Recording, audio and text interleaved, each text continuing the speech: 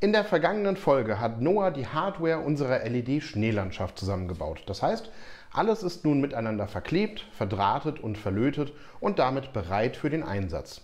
Was nun aber noch fehlt, ist natürlich die Software, über die das Ganze angesteuert wird, sprich über die nachher die LEDs angesprochen und auf dem Weg Animationen abgespielt werden können. Bevor wir uns aber darum kümmern, müssen wir zunächst den Raspberry Pi Zero W vorbereiten und genau darum geht es im heutigen Video. In diesem Sinne, hallo und herzlich willkommen zur fünften Folge unseres Advents-Specials. Mein Name ist Golo Roden und wenn du dich für die Architektur und die Entwicklung mit zeitgemäßen Web- und Cloud-Technologien und die diesen Technologien zugrunde liegenden Konzepte und Methoden interessierst, dann abonniere gerne unseren Kanal und aktiviere die Glocke, um zukünftig keine Videos mehr zu verpassen. Was gilt es nun mit dem Raspberry Pi zu machen? Der erste Schritt besteht darin, das Betriebssystem zu installieren. Anders als du das vielleicht von deinem Notebook oder deinem Desktop gewohnt bist, funktioniert das beim Raspberry Pi so, dass du eine SD-Karte auf einem anderen Rechner vorbereitest, diese dann in den Raspberry Pi einlegst und ihn damit startest. Das heißt, du nimmst keine Installation im eigentlichen Sinne vor, es ist eher ein Kopieren eines vorbereiteten Images auf die SD-Karte. Wir haben uns an der Stelle für das Betriebssystem Raspberry Pi OS, auch bekannt als Raspbian, weil es quasi ein Debian für Raspberry ist, in der 32-Bit-Variante entschieden. Natürlich kannst du auch ein anderes Betriebssystem verwenden, das mit dem Raspberry Pi Zero W kompatibel ist, aber alle Kommandos, die ich im Folgenden erwähne, beziehen sich eben speziell auf das Raspberry Pi OS. Was du dazu brauchst, ist zunächst einmal eine SD-Karte, die mindestens 16 GB groß sein sollte und natürlich ein SD-Kartenlese- bzw. Schreibgerät. Vielleicht hat dein normaler Computer einen entsprechenden SD-Kartenslot auch bereits serienmäßig schon eingebaut. Den kannst du natürlich ebenfalls verwenden. Der einfachste Weg, die SD-Karte dann zu beschreiben, ist, dir die Software Raspberry Pi Imager herunterzuladen. Und den Link dazu findest du unten in der Videobeschreibung. Naja, und diese Software übernimmt den Download und auch das Kopieren des Images auf die SD-Karte und sie steht für macOS, für Linux und auch für Windows kostenlos zur Verfügung. Den Raspberry Pi Imager dann tatsächlich zu verwenden ist sehr simpel. Nachdem du das Programm gestartet hast, wählst du Raspberry Pi OS mit 32-Bit und die SD-Karte aus und klickst auf Write. Danach dauert es eine kurze Weile und schon ist die SD-Karte fast fertig. Das Einzige, was dann noch fehlt, ist nämlich die Konfiguration des WLANs, aber das kommt gleich in einem zweiten Schritt. Wichtig ist nun zunächst, die SD-Karte auszuwerfen, damit der Schreibvorgang des Images auch tatsächlich abgeschlossen wird. Nachdem du das gemacht hast, musst du die Karte zunächst noch einmal einlegen und zwei Dateien auf ihr anlegen.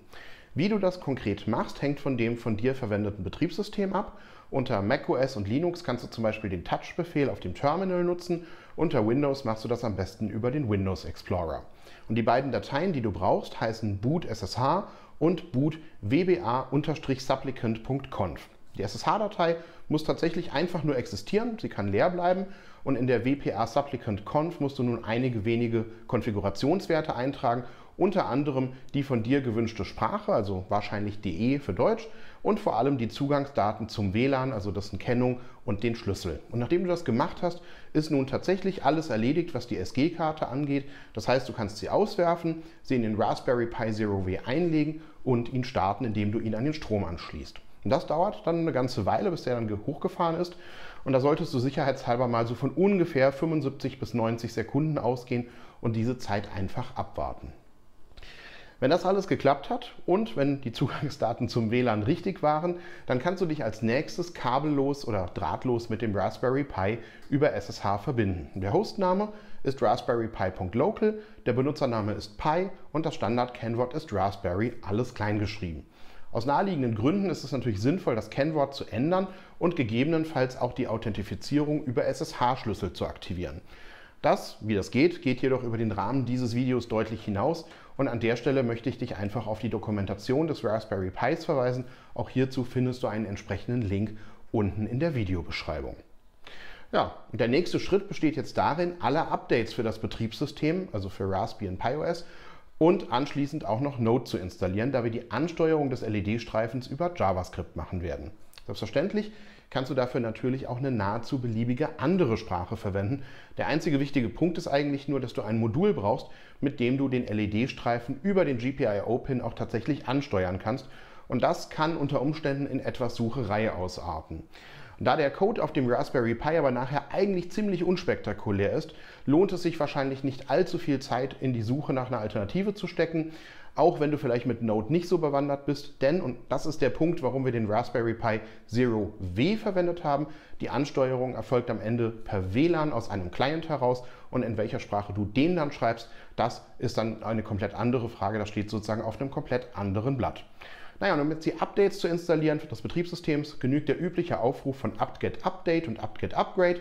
Da muss dann dabei dran denken, das jeweils mit sudo aufzurufen und mit minus y, zum einen um den Vorgang mit administrativen Rechten auszuführen und um Nachfragen automatisch mit Ja zu beantworten. Das dauert dann eine ganze Weile, aber sobald diese beiden Befehle durchgelaufen sind, fehlt dann tatsächlich nur noch Node. Und da wird es jetzt ein bisschen hakelig, denn Node steht prinzipiell zwar für die ARM-Architektur des Raspberries zur Verfügung, allerdings gibt es keinen fertigen Installer. Das heißt, Du musst dir das entsprechende Paket beispielsweise mit wget von Hand herunterladen, es entpacken und die darin enthaltenen Dateien nach user local kopieren. Und sobald du das gemacht hast, kannst du Node dann durch die Eingabe des Befehls Node im interaktiven Modus aufrufen und mit Steuerung C kannst du Node anschließend wieder verlassen. Ja, und damit ist nun alles vorbereitet, damit du die LEDs endlich programmatisch ansteuern und Animationen ausführen kannst und die Schneelandschaft sozusagen zum Leben erwecken kannst.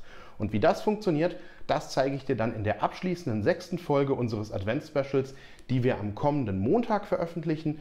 Und bis dahin, wenn dir das Video heute gefallen hat, dann würden wir uns natürlich wie immer sehr freuen, wenn du es in deinen sozialen Netzwerken teilst und wenn du einen Daumen nach oben da lässt. Und falls du es noch nicht gemacht hast, dann abonniere jetzt gerne unseren Kanal. Ja, und damit wünsche ich dir abschließend noch einen schönen Donnerstag. Pass gut auf dich auf, bleib gesund und dann sehen wir uns am Montag zum großen Finale wieder. Mach's gut. Ciao.